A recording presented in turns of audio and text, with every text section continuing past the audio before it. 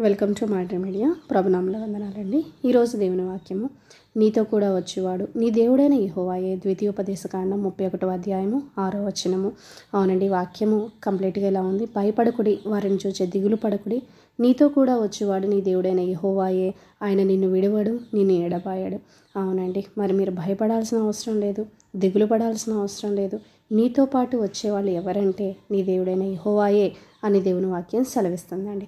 అవునండి దేవుడే మీకు తోడుగా ఉన్నప్పుడు మరి అక్కడ మీరు భయపడాల్సిన అవసరం లేదు దిగులు పడాల్సిన అవసరం లేదండి. అవునండి మరి ఒక సహోదరి మరి సాక్ష్యం చెప్తున్నారండి. ఏమనంటే మరి ఆమెకి ఫస్ట్ డెలివరీ నార్మల్ డెలివరీ అయిందంట. సెకండ్ టైంకి వెళ్ళేసరికి మరి డాక్టర్ మరి చెప్పారంటండి. ఏంటంటే ఆమె చెప్పిన డేట్కి మరి ఈమె వెళ్ళకపోయేసరికి అన్నారంట. లేదు ఈసారి నీకు మరి సిజేరియనే పడుతుంది నార్మల్ డెలివరీ కాదు అన్నప్పుడు ఆవిడ చాలా దిగులు పడుతుందంట. మరి ఇంటికి వెళ్ళి సరే అని చెప్పేసి మరి ఆమె ఆలోచిస్తూ ఉన్నప్పుడు మరి ఒక ప్రీచర్ ద్వారా మరి దేవుడు మాట్లాడుతున్నారంటండి. ఏంటంటే మరి ఇప్పటి వరకు దేవుడు నీ జీవితంలో కార్యాలు చేసినప్పుడు మరి ఇక ముందు నీకు చేయరా? అని చెప్పేసి అన్నప్పుడు నిజంగా అమ్మాయికి చాలా కాన్ఫిడెన్స్ వచ్చేసిందంటండి నా దేవుడు నాతో మాట్లాడుతున్నారు. నాకు ఖచ్చితంగా నార్మల్ డెలివరీ అని చెప్పేసి మరి హాస్పిటల్కి వెళ్ళి మరి జాయిన్ అయినప్పుడు ఏ డాక్టర్ అయితే చెప్పారో ఆవిడ లేరంటండి. ఆవిడ కింద ఉన్న జూనియర్ డాక్టర్ ఆవిడ ఉన్నప్పుడు మరి వీళ్ళు కూడా అడిగారంటే మాకు నార్మల్ డెలివరీ కావాలని అడిగారు. మరి వీళ్ళు ప్రేయర్ చేసుకున్నారు. మరి దేవుడు అక్కడ కార్యం చేశారంటండి. మరి ఎవరైతే నీకు సిజేరియన్ పడుతుంది అని చెప్పారో ఆ డాక్టర్ లేరంటండి.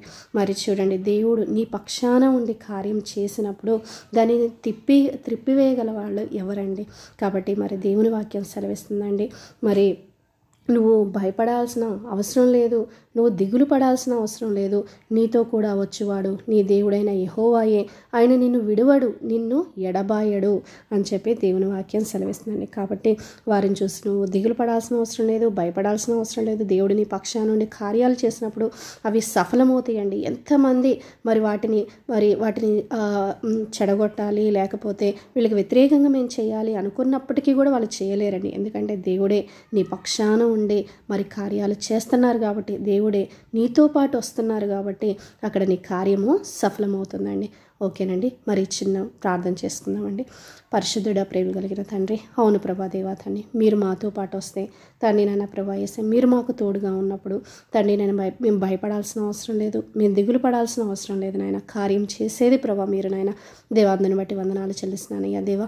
ఈ వాక్యం ఎవరైతే వింటున్నారో వారికి మీ ఆత్మ తోడుగా ఉండదా? ఇచ్చేయండి. ఈరోజు వారు చేయు పనులన్నీ కూడా ప్రభా మీరు సఫలం చేయండి నాయన. దేవానా తండ్రి వారి ప్రయాణాలు మీరు తోడుగుండమని అడుగుచు చిన్ని ప్రార్థన చేసే అతి పరిశుద్ధమైన నామంలో అడుగుచున్నాను తండ్రి. ఆమెన్.